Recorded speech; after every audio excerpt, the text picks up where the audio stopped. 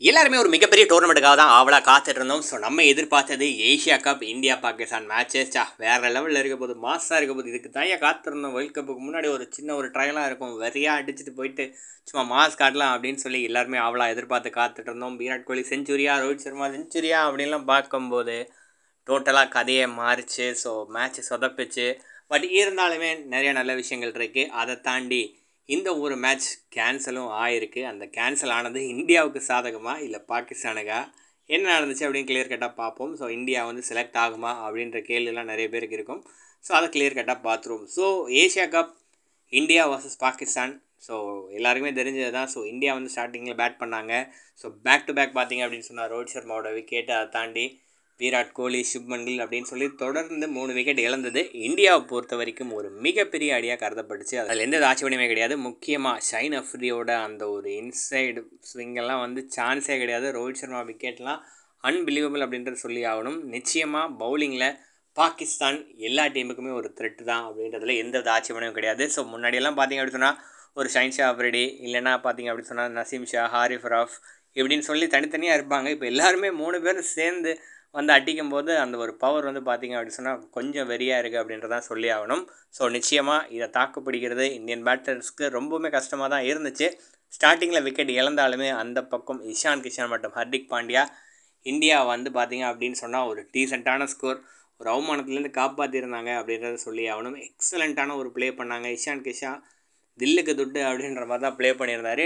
ஹர்திக் பாண்டியா அவருமே பார்த்தீங்க அப்படின்னு சொன்னால் ஒரு சூப்பரான நாக்காடி கிட்டத்தட்ட ரெண்டு பேருமே செஞ்சுரி போட்டிருக்கலாம் சின்ன சின்ன மிஸ்டேக்கில் விக்கெட் இழந்திருப்பாங்க. பட் இருந்தாலுமே அவங்க அடித்த ஸ்கோர் தான் எயிட்டி டூ எயிட்டி செவன் இன்றைக்கி இந்தியா இரநூத்தி அறுபத்தி ஆறு ரன்கள் அடிக்கிற வரைக்கும் ஹெல்ப் பண்ணுச்சு. ஃபினிஷிங்கில் பும்ராவோட ஒரு மூணு பவுண்டரிஸ் ஹெல்ப் பண்ணியிருந்தாலுமே ஃபைனலாக பார்த்தீங்க அப்படின்னு சொன்னால் ஒரு முந்நூறு அடிச்சிருந்தா நல்லா இருந்திருக்கும்னு சொல்லி தான் ஃபீல் பண்ணியெல்லாம் இருந்தோம். பட் அடிக்க முடியலை. நாற்பத்தி ஒன்பதாவது ஓவரில் ஆல் அவுட் ஆயிடுவாங்க இந்தியா. இரநூத்தி அறுபத்தி ஆறு ரன்கள் அடிச்சிருப்பாங்க. ஸோ ஓகே பாகிஸ்தான் சைடில் சேஸ் பண்ணிடுவாங்களோ? இந்தியாவுக்கு ஒரு தோல்வியாக இருக்க போதோ அப்படின்லாம் எல்லாம் பயந்துட்டு இருக்கும்போது ஃபைனலாக பார்த்தீங்க அப்படின்னு சொன்னால் அப்படி எதுவுமே நடக்கலை. மழை வந்து பார்த்தீங்க அப்படின்னு சொன்னால் இந்தியாவை காப்பாற்றிருச்சா இல்லை.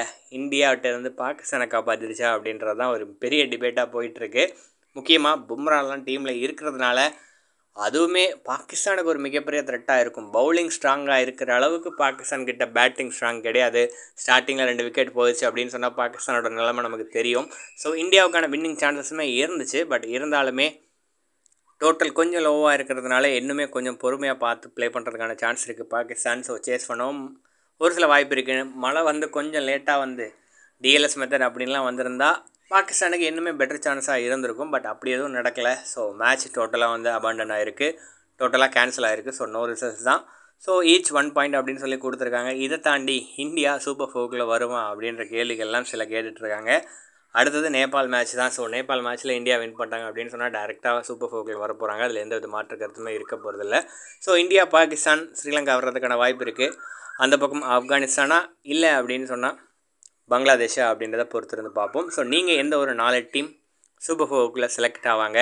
ஒருவேளை இன்றைக்கி பாகிஸ்தான் பேட்டிங் பண்ணியிருந்தா இந்தியா வின் பண்ணியிருக்குமா? இல்லை பாகிஸ்தான் வின் பண்ணியிருக்குமா? உங்களோட தாட் என்னவாக இருந்துச்சு? மறக்காம கமெண்ட்டில் பதிவு பண்ணுங்கள் இனிமேல் ரெகுலராக இந்த ஒரு சேனலில் வீடியோஸ் கண்டினியூவாக வந்துட்டுருக்கும் உங்கள் சப்போர்ட்டையும் ஆதரவையும் கொடுங்க. நன்றி.